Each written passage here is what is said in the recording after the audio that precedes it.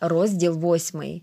Коли два перебійці стали один навпроти одного в протилежних кінцях арени, напруження серед глядачів сягнуло вершини. Мало хто сподівався, що сутичка може скінчитися щасливо для лицаря, позбавленого спадщини. Але його відвага і бойове завзяття забезпечили йому прихильність майже всієї публіки.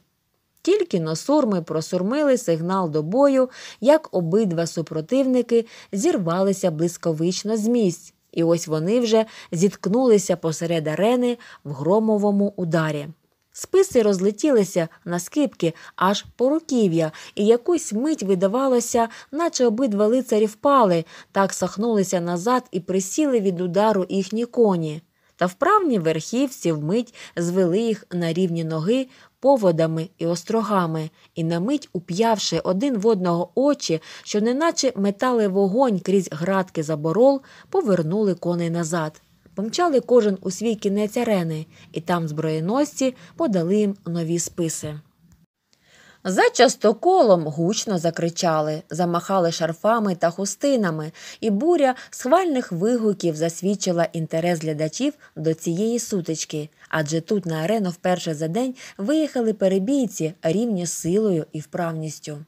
Та тільки но лицарі знов стали на вихідні позиції, той схвальний крик стих до глибокої могильної тиші, неначе все зборисько боялося й дихнути.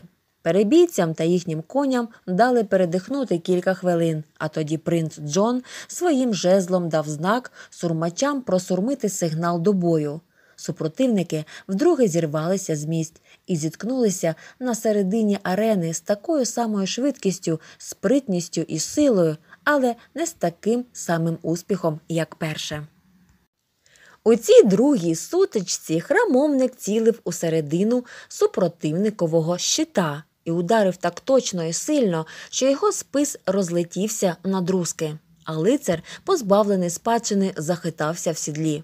Але сам він на початку теж, мірівши вістрям списа в Боагільберів щит, майже останньої миті спрямував списа в шолом, куди влучити було важче. Зате цей удар, якщо влучити, був майже невідпорний.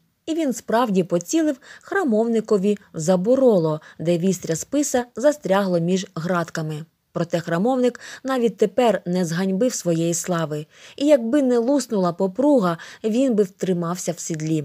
Але попруга таки луснула, і сам боєць, і його кінь, і сідло покотилися по землі в хмарі пилюки.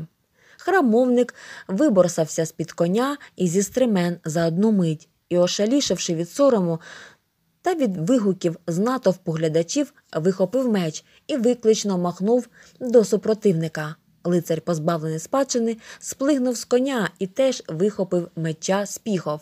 Але розпорядники арени виїхали верхи між супротивників і нагадали їм, що правила цього турніру не дозволяють бою на мечах. Я сподіваюся, ми зустрінемося ще, сказав храмовник, кинувши на супротивника гнівний погляд, там, де нікому буде нас розбороняти. Коли не зустрінемося, то не з моєї вини, відсказав лицар, позбавлений спадщини. Пішки чи верхи, зі списом, сокирою чи мечем я завжди готовий зіткнутися з тобою.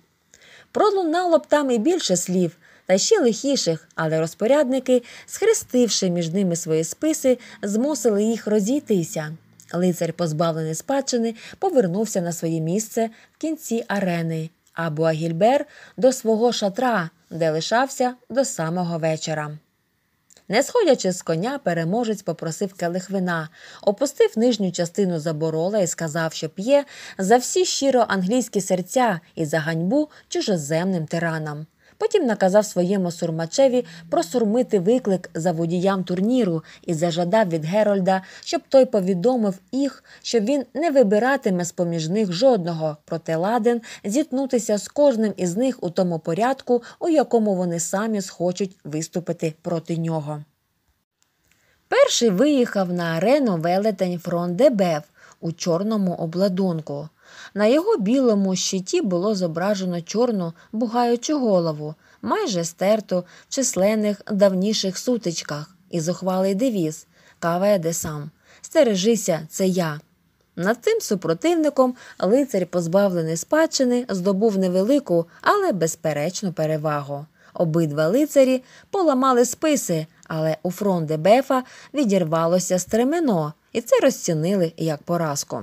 Третя сутичка невідомого із сером Філіпом Мальвуазеном була так само успішна. Він ударив барона в шолом з такою силою, що ремінець його урвався, і Мальвуазен утримався на коні тільки ціною скиненого шолома, і його визнали переможеним, як і його товаришів.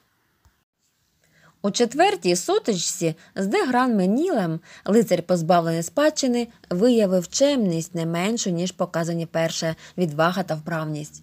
Дегран Менілів, кінь молодий, і гарячий, так сахнувся вбік під час розгону, що спис у вершниковій руці схитнувся. А невідомий, не бажаючи скористатися із тієї випадкової переваги, підняв списа, проїхав повз супротивника, не зачепивши його. Тоді завернув коня, від'їхав у свій кінець арени і через Герольда запропонував Гранменілеві зіткнутися ще раз. Та Гранменіль відмовився, визнавши себе переможеним не тільки бойовою вправністю свого супротивника, а й його галантністю завершив собою низку перемог невідомого Ральф де Віпонт. Його з такою силою було викинуто із сідла, що йому ринула кров з рота і носа, і його віднесли з арени непритомного. Тисячі глядачів привітали вигуками одностайну ухвалу принца і розпорядників присудити тогоденний приз лицареві, позбавленому спадщини. Принц був роздратований поразкою своїх воїнів, але мусив надати позбавленому спадщини законне право обрати королеву турніру.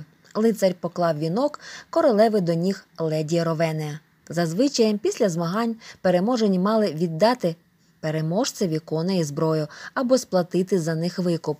Лицар, позбавлений спадщини, узяв лише половину запропонованої суми, а від викупу Бойгільбера відмовився взагалі, вважаючи двобій незакінченим. Частину грошей переможець передав Ісаку, який поручився перед багатим євреєм за коня і обладунок для турніру.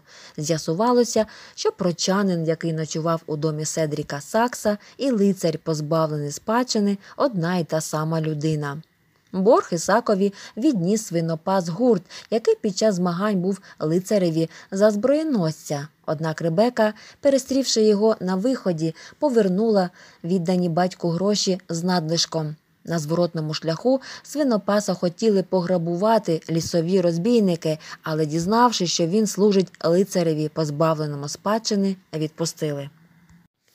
Наступного дня на арені зійшлися два великі гурти. Перший очолював Бріан де Богельбер, другий лицар позбавлений спадщини. Боротьба була запеклою, що миті поранені і переможені залишали поле бою. Коли товкотнеча поменшала, глядачі побачили лицаря позбавленого спадщини і Бріана де Богельбера, що зіткнулися в жорстокому поєдинку. На допомогу храмовнику кинулося кілька дужих воїнів. Лише завдяки пруткості свого коня лицар, позбавлений спадщини, уникнув нищівних ударів. А за мить до нього приєднався вправний боєць у чорному обладунку, якого називали чорним лицарем. Завдяки його підтримці, позбавлений спадщини знову переміг фаворитів принца. Тепер королева турніру мала увінчати звитяжця. Коли зі знесиленого лицаря зняли шолом, усі впізнали Айвенго, сина Седріка Сакса, коханого Ровени.